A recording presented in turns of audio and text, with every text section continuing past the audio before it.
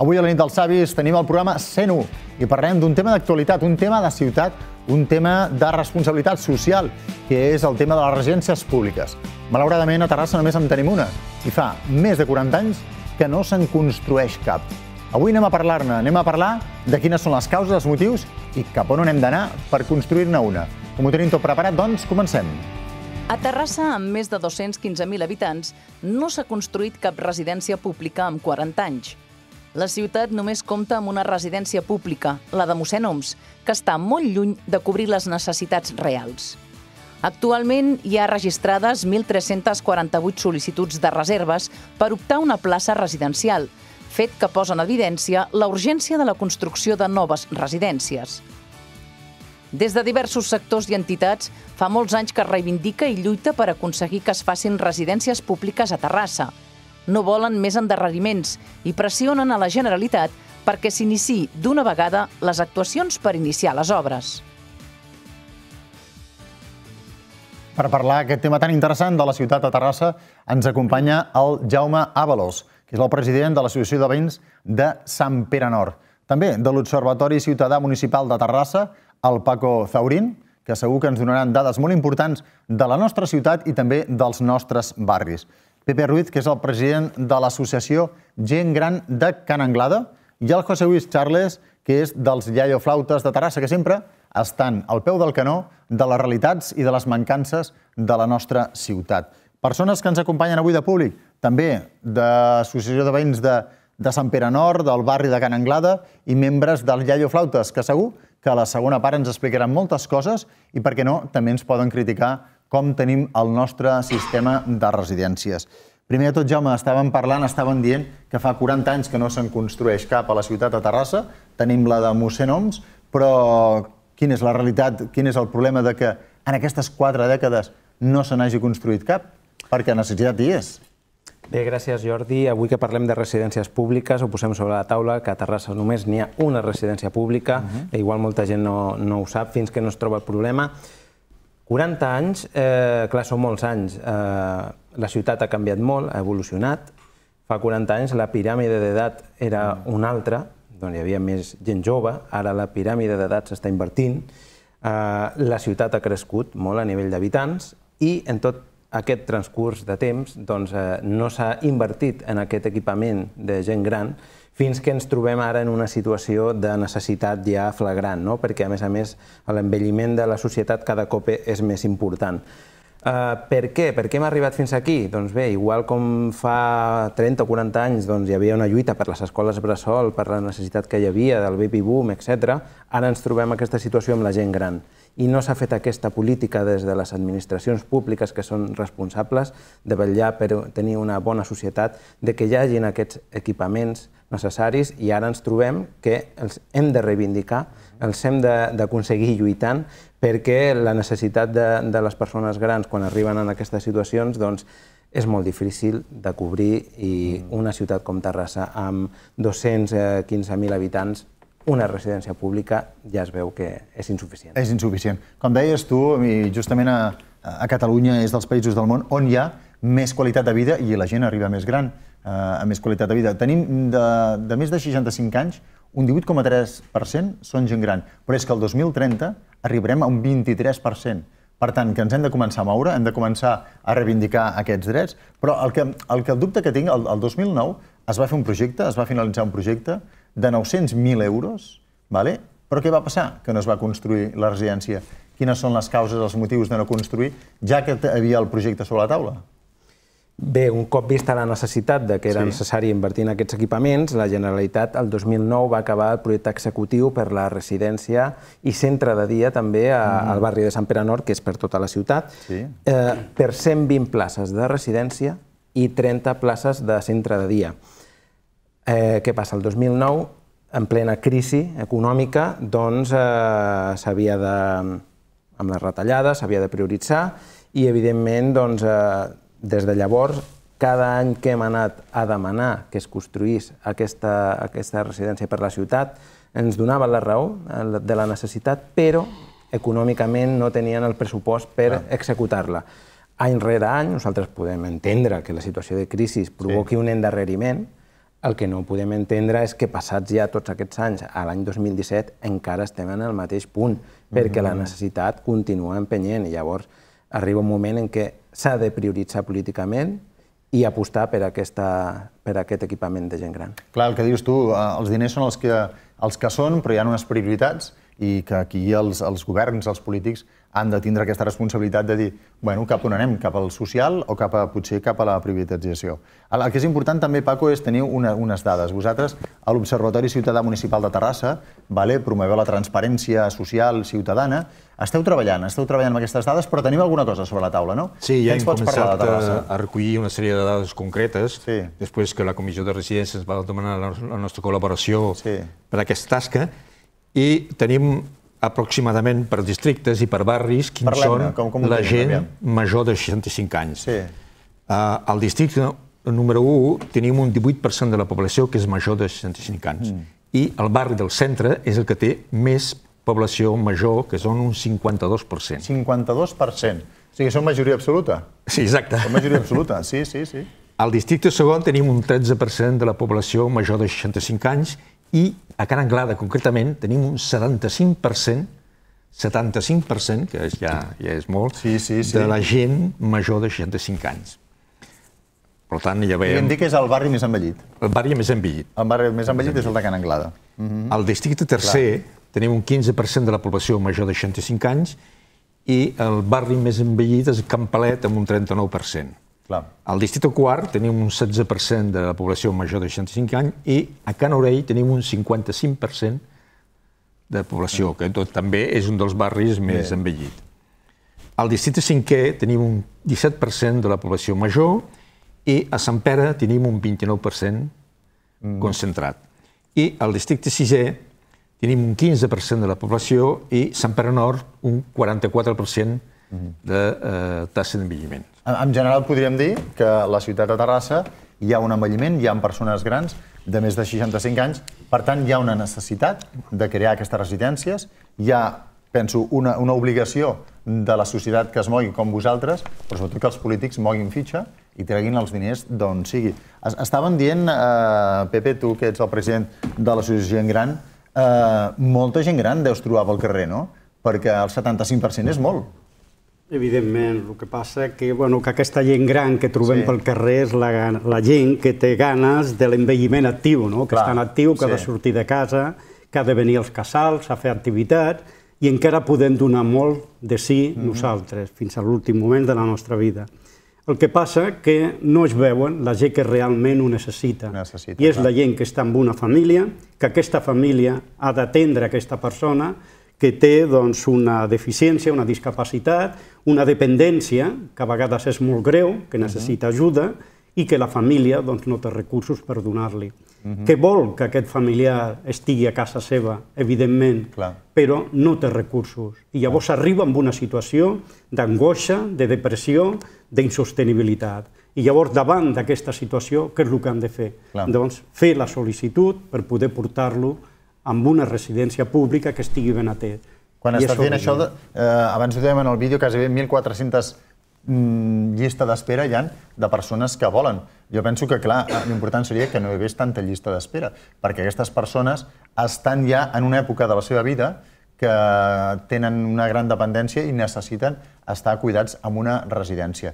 Ha anat passant els anys, aquests 40 anys, i el desembre passat eh, José Luis, veu dir potser prou, ens anem a reunir, ens trobem i creem una comissió. Com va sortir aquesta comissió? Com ho veu viure els Flautes? Us va vindre la petició directa a vosaltres?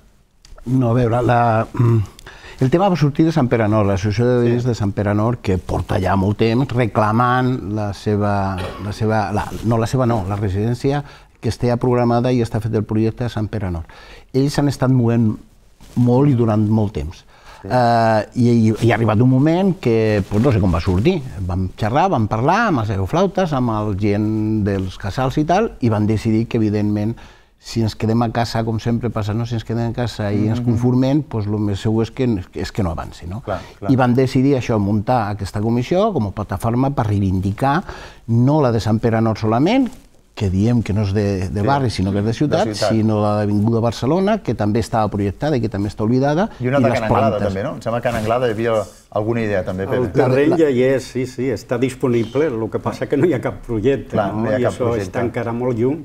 És, és, és el terreny que deia jo de l'Avinguda de Barcelona, que estava sí. anunciat, el van anunciar a bombo i platillo i que es va quedar Bueno, d'aquesta no n'hi ha ni projecte, que de Sant Pere no, però s'ho devem projectar perquè hi ha un projecte. Clar, I aquí va sortir... Urgent, amb, amb les de la mà, Can Anglada realment necessita sí. aquesta residència. Home, clar, per proximitat, prioritat, eh? per, per proximitat i per tant per cent seria el més clar. Eh, aquí, Jaume, qui, qui en forma part d'aquesta comissió? Aquí trobem aquesta...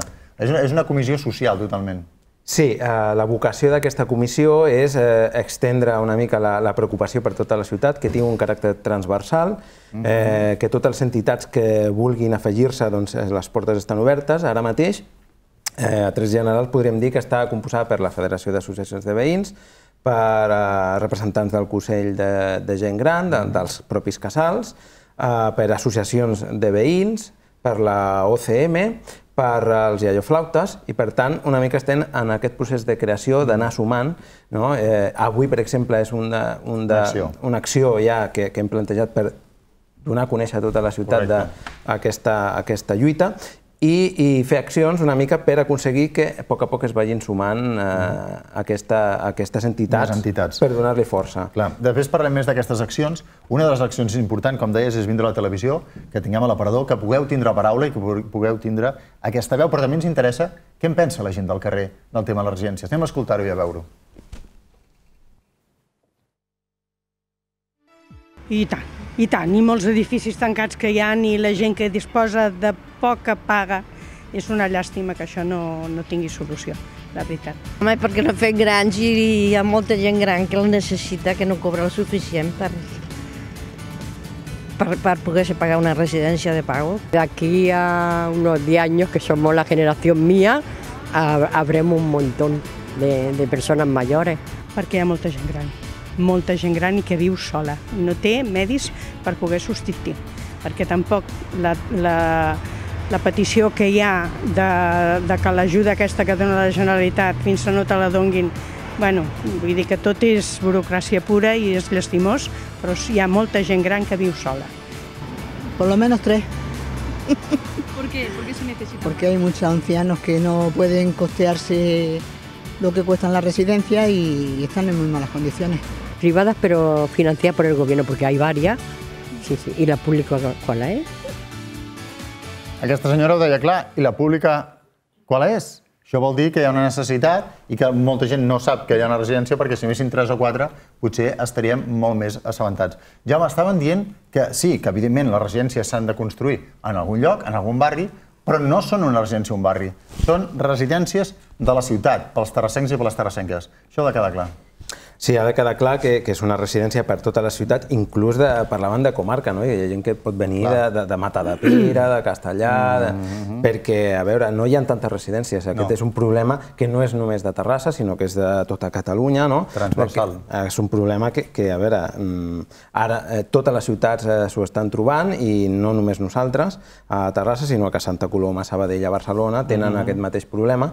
I, bueno, eh, veure que hi ha un cert consens no?, entre la societat, ara quan heu entrevistat a les persones a, sí. del carrer, de que tothom reconeix que hi ha aquest, uh mhm. -huh. aquesta necessitat, però que eh, no es fan les mesures, s'està potenciant únicament sí, el sí, model sí. privat, que evidentment doncs, eh, no arriba a tota, a tota a, a totes les necessitats mm -hmm. socials no, que, que hi ha. No?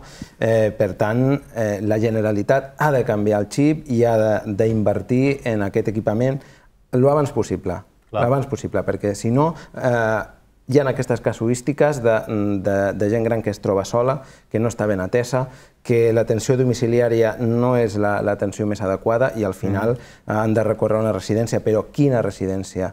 Quin model volem? Tot això ho sí, hem de posar això és un altre debat, perquè clar, també és quin model volem, perquè hi ha residències i residències, quin model volem. Jo, jo estic veient aquí que justament el dimarts 5 de gener del 2010 Terrassa tiene un dèficit de 600 eh, places. Estem dient el 2010. 2017 ja estem dient 1.300. Hem duplicat.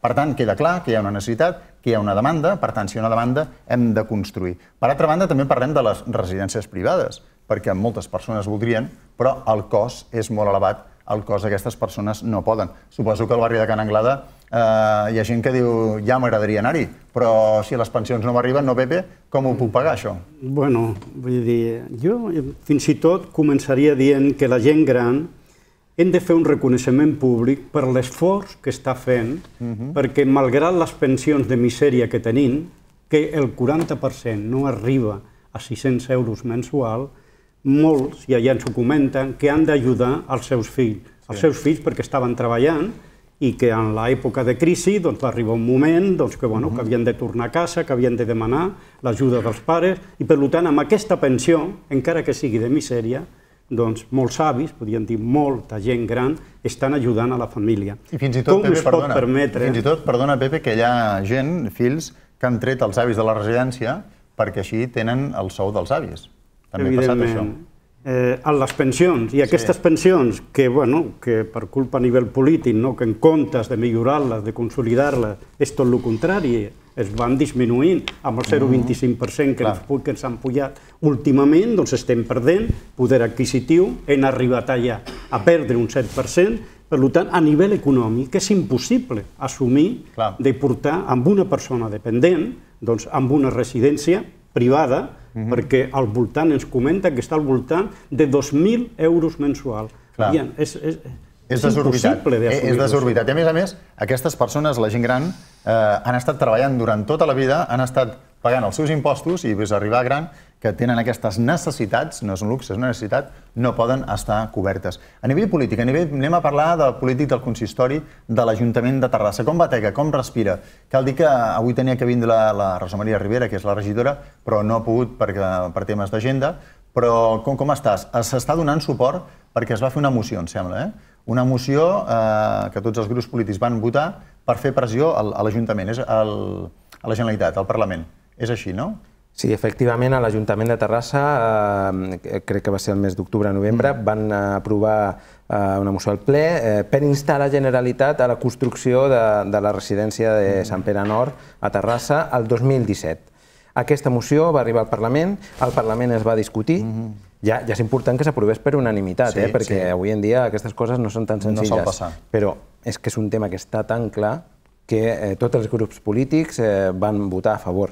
Al Parlament de Catalunya, quan va arribar a, a aquesta proposta, eh, hi ha grups que es van abstindre i grups que van votar a favor i finalment es va aprovar. Però malgrat que es va aprovar aquesta proposta de construir la residència a Terrassa per aquest 2017, no s'ha eh, posat la partida... Exacte, no, no s'ha posat els diners al pressupost 2007 per tirar-ho endavant. És a dir, hi havia un mandat parlamentari, però mm -hmm. el govern, que ha d'executar-ho, no ha destinat els diners.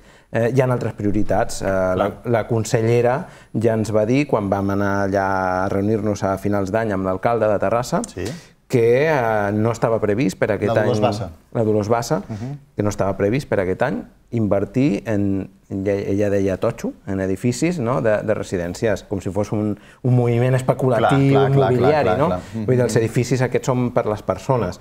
I nosaltres els van dir que la necessitat eh, era tan gran que no podíem estar esperant eh, any rere any fins que algun clar. dia prioritzessin. Clar. José Luis, vosaltres des d'allà Flautes, eh, que tots ja esteu jubilats, com, com ho viviu, com ho patiu, o, o què en penseu? O, o, o què diu la gent? Què, què us arriba i diu, hosti, que no... Pues ja t'ho pots malament. imaginar, per la gent i per nosaltres mateixos. Clar. O sea, no pot ser. Ara parlaves de, de, de quin model tenim. Eh, tenim que deixar molt clar que volen model públic. Sí. Públic de residències públiques i de qualitat i que els diners que hi ha que no vagin a la privada, perquè en la privada prioritzen el benefici per, de, per davant de, de, de la qualitat Clar. o del servei. Sí, sí, I com ho estem? Pues mira, diria, pues, malament, perquè es veiem que, que el que pugui pagar pues, encara es podrà sortir, però és que no, és que mm. Tenim la llei de dependència que està molt fotuda, que sí, no donen sí, suport, i a sobre ens pugen les pensions un 0,25 per veure si així arribem, i així no arribarem. o sigui, amb el qual pues, eh, pots imaginar. Però què passa? El, el problema greu és que, mira, un dels principis de la llei de flauta, si no és el principal, és despertar consciències. Clar, aquesta gent que necessita les residències els pobres estan en casa i, i, i apenas poden sortir al carrer, no? Clar. O sigui, no. Pues què tenim que fer? Pues ser nosaltres, entitats públiques, siguin associació de veïns, sigui moviment veïnal, sigui, sigui els flautes, tenim que sortir al carrer pues, a fer constància d'això. Perquè tothom té clar, el públic, com ho he pogut veure al clar, monitor, clar, clar. Eh, els polítics, que tots diuen que sí, sí però sí. la veritat, no. No hi ha calés. No hi ha calés. No hi ha calés, clar. No, no, sí que hi ha calés. El sí. que passa és que no es dediquen a allò que es tindrien correcte, que dedicar. Correcte. I, I no entrem més en aquest tema de... perquè si no anirem per derroteros no, clar, que no el tema de calés en o el Clar. pressupost és el que hi ha, però passa depèn com, com es destinen. Ah, També, Paco, és important les dades. Les dades que estàs dient no ens estem inventant alguna cosa, no és una, una voluntat que ens imaginem, sinó que són importants les dades que vosaltres aneu treballant. Com treballeu totes aquestes dades? D'on traieu tota bueno, aquesta informació? Eh, és una informació que està molt dispersa i sí. no, és, no és fàcil. No és fàcil. A través de l'anuari de, de l'Ajuntament de Terrassa, amb el qual hi ha dades sí. a nivell de població, ah, la Diputació també té un estudi fet, la Generalitat té dades també molt superficial, sí. i també a través del eh, Consell Superior d'Investigacions Científiques, que sí. té una, un bloc sobre envelliment amb el sí. qual allà recullen Podeu moltes dades a nivell general Clar. i a nivell de, mm. de Catalunya. De Catalunya. El que és important també, una altra de les dades, la única residència que tenim a, a la ciutat de Terrassa, Mossenoms, té unes plantes tancades. Hi ha una, una superfície que està tancada. O sigui, en tenim una i, a més a més, no està al 100%. Què passa? Per què? Com és? També problema pressupostari? Clar, com tot. Sí? És que tot, l'excusa és aquesta, que no hi ha diners ni per les plantes, ni per les noves, ni es gastem eh, un milió d'euros, 900.000 euros en fer un projecte i després el deixem parat. Eh, el terreny de l'avinguda també preparat i deixem tot parat. Uh mhm. -huh. I clar, i jo crec que es tindrien que donar prioritats, es tindrien, disculpa, es tindrien que canviar les prioritats. Canviar. Val? Canviar les, en vez de fer tantos saves i tantes coses d'aquestes sí. que no s'utilitzen... Comptes de tanta via, no? Exacte, que no parlin del totxo, com diuen que és una... sinó sí. que el totxo és per les persones, precisament. Re. Aquest totxo és per Jaume les persones. Jaume i després Pepe, sí, Jaume. Sí, en el cas de mossèn Oms encara és més flagrant. O sigui, Clar. el 2017 han posat 250.000 euros per habilitar, adequar una planta sí. que està tancada. Però només significa l'obra, fer la construcció d'aquesta planta. El servei no està garantit. Eh, ja ens, eh, ens va dir la Generalitat que farien l'obra, però que no podrien obrir-la perquè no tenen els diners destinats a donar el servei, a, a concertar aquestes places, a donar-les públiques.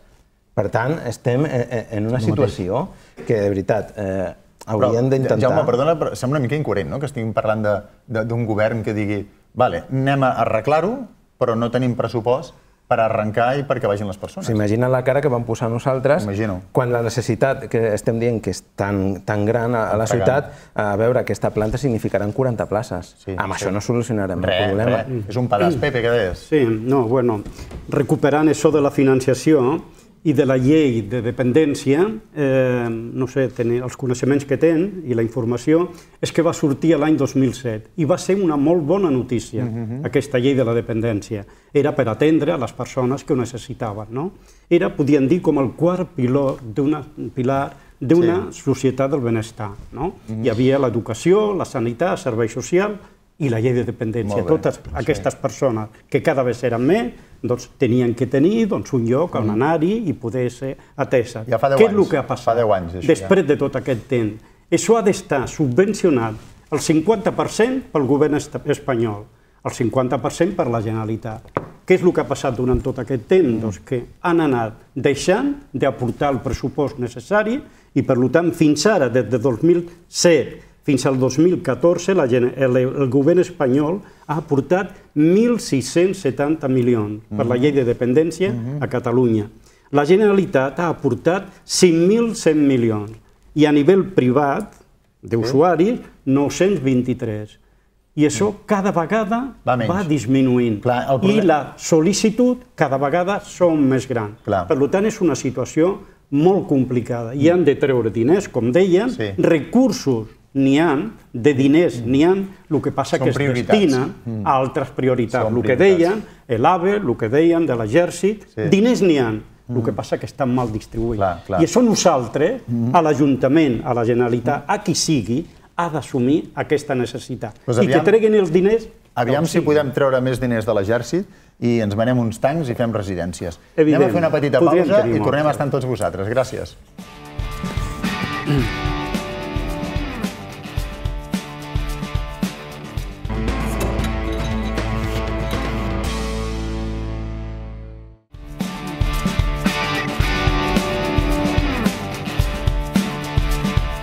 Avui a la nit dels avis estem parlant de les residències públiques de Terrassa, que per cert només n'hi ha una en 40 anys, no se n'ha fet cap, i estem reivindicant doncs, que se'n construeixin de noves. Avui estem parlant de les residències i parlem directament amb el públic. Aquest senyor, el seu nom? Alfonso Chávez. I viene de Cananglada? De Cananglada. Soc veïns, de, eh, perdó, pertany a l'Associació de Veïns de Cananglada i després d'escoltar el contertulis, el contertulis eh, m'ha donat de que la situació és bastant delicada, no? perquè no només tenim els calés, però que no hi ha una voluntat política per resoldre aquest problema, i a més a més suposo que una de les coses principals hauria de ser de tenir un projecte mm -hmm. que ja veig que en aquest cas Sant Pere que ho sí. té, en aquest cas eh, és impossible de tenir una solució perquè no hi ha aquesta voluntat política. Aleshores, nosaltres tenim el lloc Clar. a Caranglada, però si encara no tenim un projecte, la cosa s'aniria més, més, més lluny. Llarg. Tu el que, està, el, el que està dient és que en aquest cas hi ha un projecte, i un projecte que està finalitzat, que és un problema polític, és un problema de, de prioritat política, seria, no? Correcte, però és que a més a més, a veure, quan la gent se, uh, haurien de, de donar de que s'ha d'elegir -hmm. el programa quan tu has de, de, de, de seleccionar el partit clar, clar. perquè tu has de votar, no? Clar, perquè clar. la gent suposo que això no, no ho mira. Uh -huh. mm, el teu vot va d'una manera una mica només per, possiblement clar, sin clar. una informació clar, el adequada. tema seria que ens miréssim una miqueta més uh, quin és el, tota l'agenda que tenen els partits polítics, però moltes vegades diuen i no fan, també, eh? O sigui que també això és un altre tema. Aquesta senyora al costat, el seu nom? El meu, el meu nom és Pilar i sóc iaia flauta de Terrassa. Iaia flauta, sí. Iaia flauta. Mm. Eh, bueno, jo, també per lo que han dit aquí a la taula, no entenc una cosa. Diuen que no hi ha diners o que no distribueixen els diners correctament no? per fer residències, però el que no entenc és que la residència de Mossenoms mm -hmm. hi hagin tantes habitacions tancades o plantes tancades, vull dir que és una residència que ja està feta, que es podria obrir i tindria més, més, bueno, més lloc per a, per a la gent que ho necessita. Clar. Jo suposo que estaràs d'acord amb mi que l'important és, com a Iaio Flautes, és fer pressió, aquesta pressió social, conscienciar i treballar perquè aquesta societat sigui millor, no? Pues sí, això és el que intentem fer els iaios i les iaia flautes, Clar.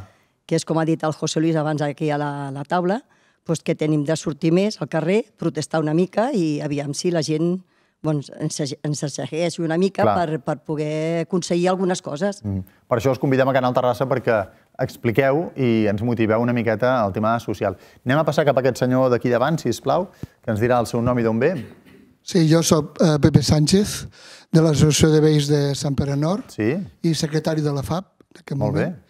Bé, comentar que si tu, per exemple, demanes plaça a Mossenoms en aquest moment, eh, plaça pública, que és Primer que has de tenir el nivell 2, això també és un tema que no s'ha comentat, sí? sobre el nivell que has de tenir per demanar una plaça pública. Una plaça pública en aquest moment has de tenir el nivell 2, i després hi ha, hi ha un temps d'espera, en llista d'espera, de dos a tres anys. Clar. Comentar que és una situació que, si per exemple tens una urgència o, o que la mare o el pare eh, veus que, que necessiten una residència, doncs, eh, has d'esperar molt temps per aconseguir aquesta plaça pública. Clar, i el que dius tu, eh, en el cas d'urgència, què fem? perquè no, no podem esperar. És una urgència, és una necessitat que s'ha de cobrir i això ens ho pot cobrir la residència. Per això hem de reclamar més no? i entre tots fer aquesta força per poder, poder lluitar. Passem el micro cap aquí, cap aquí, cap aquí, aquest senyor d'aquí baix. Sí, aviam, cap aquí, passem, molt bé. Veus, això és companyerisme, que un ajuda a l'altre. Hola, jo em dic Rafael, soc sí? també de l'Associació de Veïns de Sant Pere Nord. Sí. I jo volia comentar sobre el tema aquest que hem tractat fa un moment, sobre el quin model volem, i és en el sentit de que a vegades ens tenen una mica enganyats amb aquest tema del model que desitgem. Sí. Ens diuen normalment que el sistema públic és el que costa diners públics. Sembla ser que els altres models que hi ha no costen diners. Això no és veritat. Uh -huh. Per exemple, el sistema concertat, ja sigui educació, sanitat, i en aquest cas serien residències, també té un cost molt gran. Jo vaig estar a l'última reunió que vam tenir amb la consellera, amb el Jaume, per cert, i ens va dir la pròpia consellera, va admetre que de cada 1.500 euros que es dediquen a una plaça, 1.200 s'aporten de diner públic. Clar. Llavors, dir que solament una cosa pública costa diners no és veritat. Mm -hmm. Les concertades també costen molts diners públics. Però clar. clar. Aquí potser podríem dir, Rafael, que hi ha interessos pel mig, no? perquè de diners sí que n'hi ha, estem veient que sí que hi ha diners, però tot depèn de les prioritats, les necessitats de qui està governant. Alguna pregunta més per aquí, algun suggeriment? Cap aquí darrere, aquest senyor. També, primer ahí a darrere i després cap allà. Vinga, així m'agrada, que parlin. Hola, el Francisco Cañete, soy también de los de flautas. Sí. Entonces, estos problemas que estamos planteando mm, realmente no es solamente Terrassa, es en general, es toda España. Sí. Y esto debido pues, a estos, estas políticas neoliberales que están, intentan destruir todo lo público y van de cara a lo privado. Residencia falta aquí, falta en Sabadell, falta en todos sitios, falta residencia, pero están dispuestos a destruirlo todo. Son realmente lo antisistema. Decían, Podemos antisistema, no. Ellos son antisistema porque lo están destruyendo todo el sistema que hay montado. Entonces, de verdad, no sé cómo podemos aguantar estos políticos, eh, dirigentes, entre comillas, si se puede decir dirigentes, pero tan necio y absurdo. Sí, la verdad es que este, este, te puede enfurecer, porque es para enfurecerse y más. Mm. Però, però per això l'interessant és que fem aquest programa, que sortiu, que reivindiqueu i lluiteu per als drets de, de, de les persones. Anem a passar cap aquí, aquest senyor d'aquí davant, ja l'última intervenció. Sí, ara ens dirà el seu nom, si us plau. Bueno, Juan. yo me llamo Ricardo Paredes. Sí. Pertenezco a la Asociación de Vecinos, a la Junta. Uh -huh. Y yo lo que estoy viendo aquí, he visto, ya lo hemos hablado más de una vez, que esto que nos están teniendo nosotros es un tomar de pelo. En el sentido de que si nosotros llevamos desde el 2006 reclamando en general, no hablamos nosotros solo, la residencia, ¿por qué ahora nos meten las tres plantas esas? Siempre y cuando que nosotros nos vamos reclamando eso. ¿Qué tres Nosotros, plantas? ¿Qué, qué tres plantas? Las tres plantas que están vacías ahí en la residencia. Del Musenoms, ¿no? Las tres plantas, sí. Es decir, ahora quieren arreglar una, como ya ha dicho Jaime, solamente arreglarla. Luego la el mantenimiento ya Dios dará. No se sabe. Y yo lo que nosotros, lo que yo digo y lo que se pide es que nosotros estamos reclamando una estamos reclamando residencia.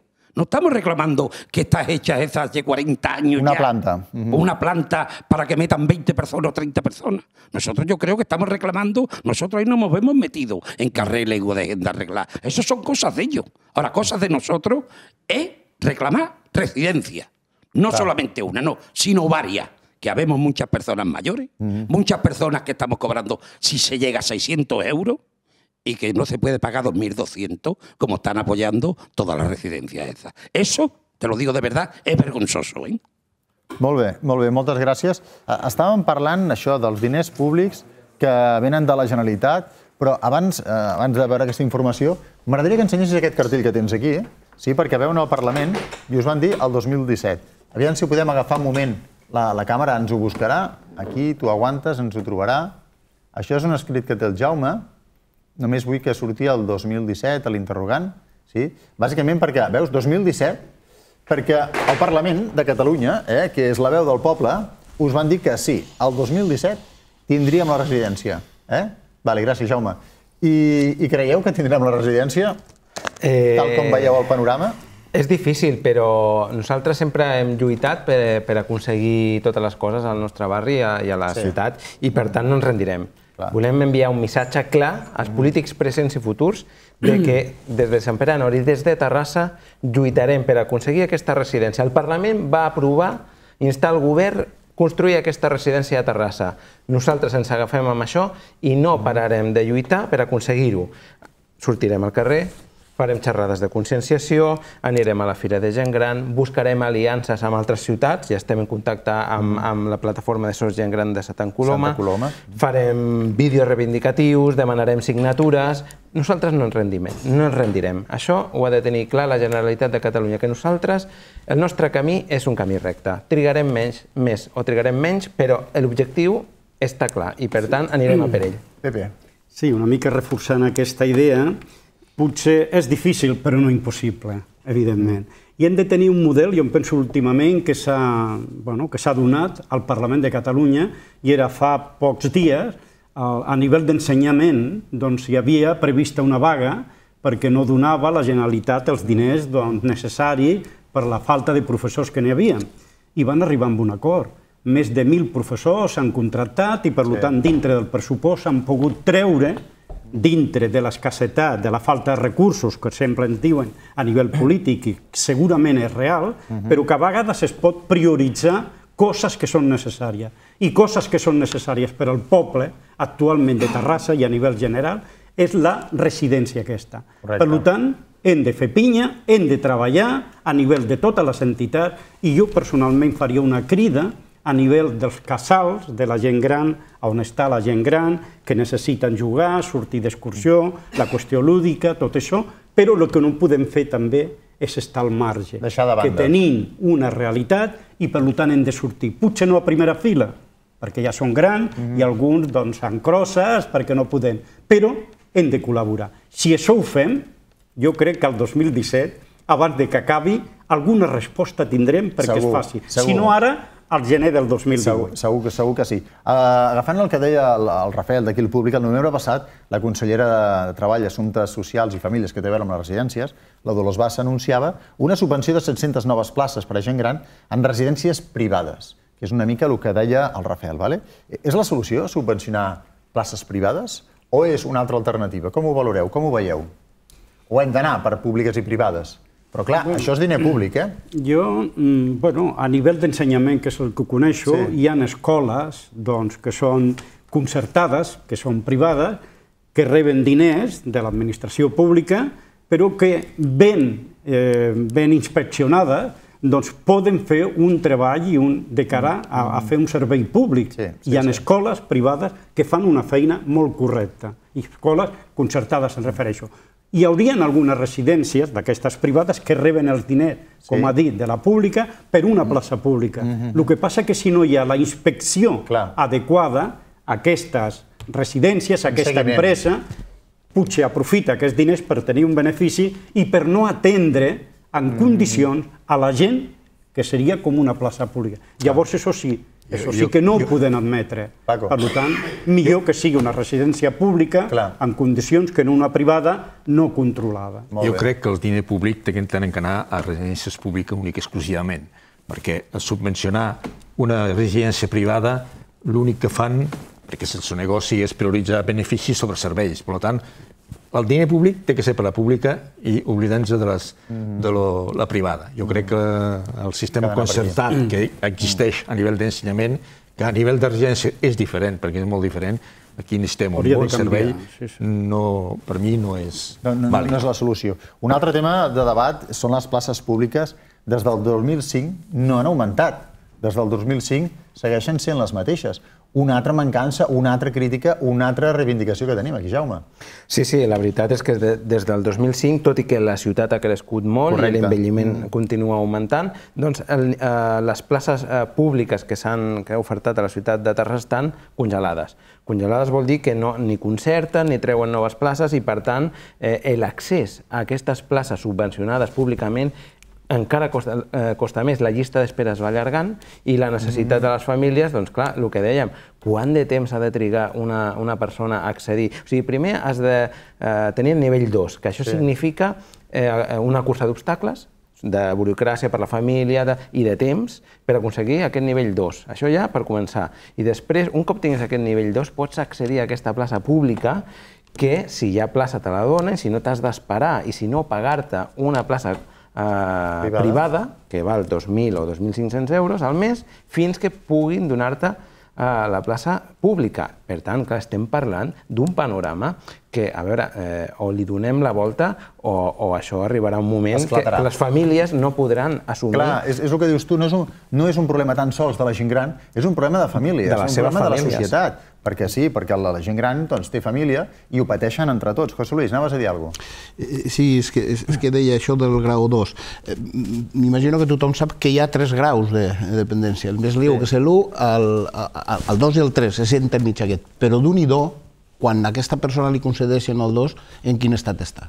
Clar. Llavors, eh, imagineu, dos i després tens que esperar, com diu el Pepe, tres anys, dos, tres anys. Uh mhm. -huh. No sé si el que busquen és que la gent Sí. M'entens? No sí. estigui d'aquí dos o tres anys i problema resolt. Escolta, no, no tenim que discutir res, són residències públiques, perquè tot el que sigui privat, ja dic, ja he dit abans, prioritzarà el benefici, prioritzarà, prioritzarà el benefici i facilitarà a vegades aquelles coses que diem, que li diem corrupteles, no? Petites o més grans, però corrupteles, en la qual no, que siguin privades. I jo no sé, bueno, no sé a, a quin temps estan, però mm, voldria fer una, una, una, una, petit, una petita observació, que, sí. la, que el company Alfonso ja també l'ho ha dit. Escolta, s'ha sortit aquí que, la, que són majoria la gent gran, que són majoria. I se diu sempre que el vot de la gent gran té una tendència determinada, que no sí. diré jo per no dir, però que tothom més o menys ja la sap, no? Doncs el que vull fer és una crida a aquesta gent gran que s'ho pensi. No li estic dient que voti una o altra, que mm. s'ho miri. I que no se miri el programa, perquè el programa a vegades està, però no es compleix. Sí, no? Que es mirin els fets, els resultats, el que ha passat d'aquests 40 anys, 20 anys, 10 anys, 2 anys, o el que sigui, no? i que en funció d'això faci una reflexió mm. i miri qui defensa els seus interessos millor que els altres. Clar. I que ho faci, clar, perquè avui per avui jo no tinc. Jo, mm. el Pepe li vist optimista de que el 17. Jo no sóc tan optimista com el Pep, mm. com el Pepe, i, i, i penso que igual passa el 2017 i no tenim ni, ni, la, ni la planta aquesta de Mossenoms arreglada. Ara, amb la qual ens tenim que mobilitzar els que podem, sí. sortir, reclamar, fer mm, posar nerviosos els que tenim que posar nerviosos mm. i que prioritzen, que és el que hem dit, estem tots d'acord, que recursos hi ha, diners hi ha, pues que dediquin a lo que és important. I si diu que són les persones, pues jo crec que les persones primeres que tenim que atendre a la gent gran, perquè tothom estem pensant en els joves, en les sí. dones, en no sé què, i la gent gran. Clar. També, ara li dono la paraula al Pepe, però té a veure amb el que deia el Pepe, el que dius tu també, José Luis, que ja està bé que la gent vagi d'excursió, a dinars, a sopars, a juguin i tot, però, però... que també es mobilitzin, vagin a les xerrades, vagin a les conferències, que també sàpiguen què està passant a la societat per té, té molt a veure amb ells. Pepe, anaves a afegir alguna cosa?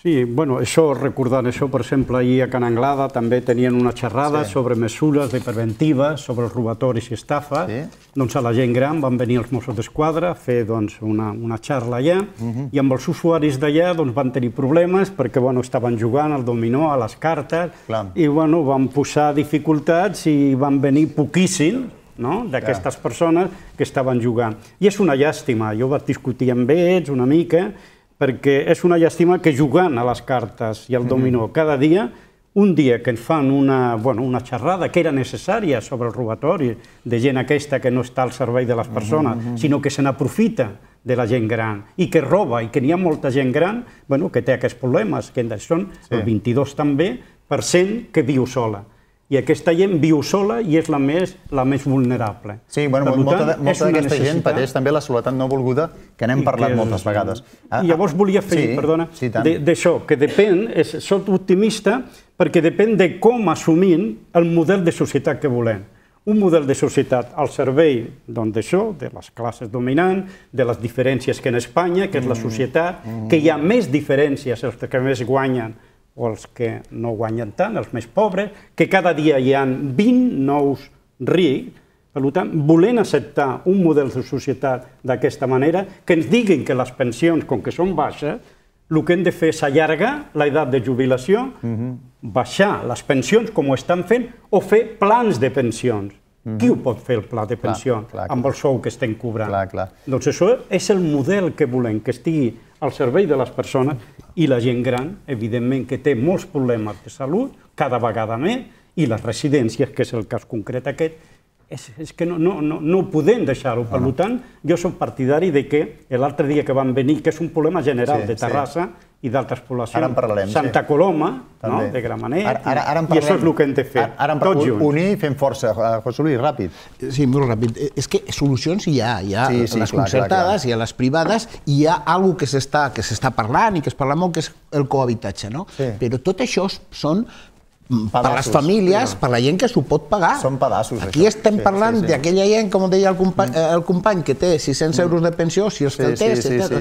I, i, i que no pot arribar ni a, a, a, a plans de pensions particulars ni a res de res. No o sigui, té el que per, està sobrevivint, està ajudant els nets i a sobre, sisplau, o sigui, això és el que estem parlant, per això dic, tenen que ser públiques, però ja, ja. Però ja. Anem a, ja, ja em deixeu un moment perquè pugui anunciar un petit espai que sempre que tenim, que és el Recomana. Aviam aquesta setmana cap on anem.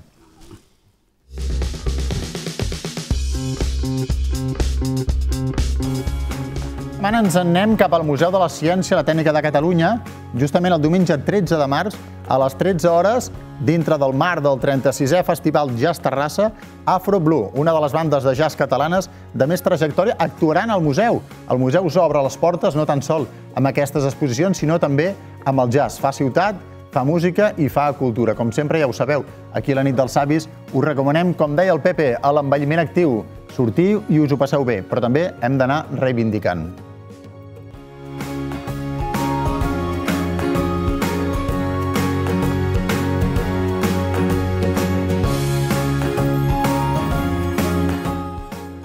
Estàveu dient que Units feu la força amb Santa Coloma. Barcelona també té aquest problema. Sabadell també té aquest problema.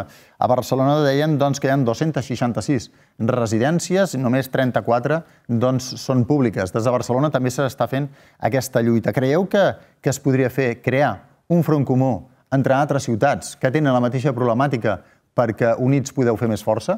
Com esteu fent amb Santa Coloma, amb Sabadell, Terrassa, Barcelona. Us heu plantejat, eh, Jaume?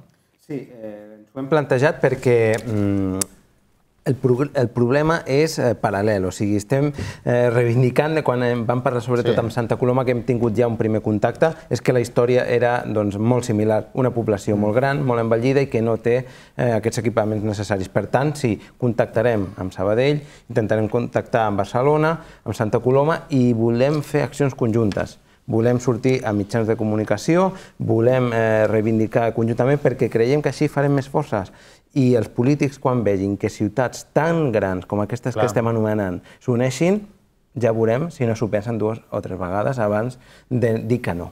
Em sembla que s'ho pensaran només una vegada, eh? Ho tindran claríssim, Pepe. Sí, no, tenia una Ràpid, dada ja. sobre això, que el problema no solament de Terrassa. Si fos de Terrassa, 9 milions sortirien sí. de qualsevol Clar. racó d'allà, no? Sí, sí. És un problema molt més greu. Falten moltes més mm -hmm. residències a nivell de, de tot Catalunya i de tot l'estat espanyol. Hi ha una dada que diu això de la llei de dependència, que hauria de ser el pilar per tenir una societat del benestar, mm -hmm. en condicions, amb la gent que ho necessita. I ens parlen de que el, el 2016 el dret a prestacions per la llei de dependència eren persones que els havien reconegut el nivell que tenen de dependència, la necessitat que tenen d'ajuda, eren 216.000 persones. I els que van rebre el benefici, els que els hi van donar, eren solament 126.000. Això què vol dir? 90.000 persones que tenien necessitat, que estaven diagnosticades amb un nivell de dependència, no els hi van arribar, no els hi van donar, perquè no arribava doncs, els recursos que Per això heu d'arribar vosaltres, Pepe, per això heu d'arribar tots junts a fer aquesta força, com deia el Jaume. Si fem aquesta, pinya... Aquesta pinya, i aquesta pinya em sembla que la fareu ho aconseguirem. A, a, la, a la fira, a la fira de gent gran, que és el 1 i 2 d'abril. Eh? Teniu, teniu, teniu una paradeta, no, José Luis, em sembla? Eh, tenim una parada a la comissió. Vale, de la comissió. Anirem tots. Els geroflautes estarem amb la, amb la paradeta de la Comissió per les Residències Públiques de Terrassa. Segur que serà una paradeta molt petita, però que tindrà molt contingut. Estic, jo estic crec que segur. sí, que li donarem moguda i serà de les més visitades. Jo que sí. Eh... Paco, anaves a dir un... Sí, jo aprofitant que estic aquí amb un mitjà municipal sí. de televisió, jo volia fer una crida a la ciutadania de Terrassa a participar el dia 19 de març a les 12 del migdia des de la secció del Nord a la manifestació que convoca la Taula de l'Aigua de Terrassa, sí. juntament amb Aigües Vida, per una gestió pública i democràtica de l'aigua a Terrassa i en contra de l'hostilicalització i judiciació d'Akbar de tot el procés de reversió uh, de l'aigua a Terrassa. Només sí, això. Sí. Eh, pensa que eh, estem pendents de fer un programa també que tingui a veure amb l'aigua perquè Terrassa està treballant molt fort amb el tema de l'aigua, que sigui municipal, i en el programa també també en parlarem. Uh, res, uh, alguna cosa a afegir de tot el que hem dit? Bàsicament, esperança, ganes, lluitar i sobretot units feu la força, no, Jaume? No ens rendirem, com hem dit. Eh, avui hem sigut ja diverses entitats que, que estem mm. aquí juntes i volem continuar sumant i, per tant, presentarem batalla. Presentarem batalla i la nostra gent gran de la ciutat de Terrassa ha de viure en unes, en unes condicions de dignitat i de qualitat i nosaltres lluitarem perquè tinguin aquestes residències públiques. Molt bé, així em sembla. La setmana que ve, un tema totalment diferent. Parlarem dels vegetarians i dels vegans. És bo? No és bo? Quants dubtes tenim? Doncs vindran professionals per poder parlar. Com sempre, a les xarxes socials i ens venim un altre programa de la nit dels savis. Gràcies.